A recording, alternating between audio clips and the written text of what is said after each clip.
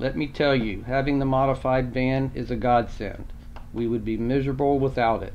I certainly made a wise choice when I bought it. Good to hear from you. Take care. Linda and Frank, Florida.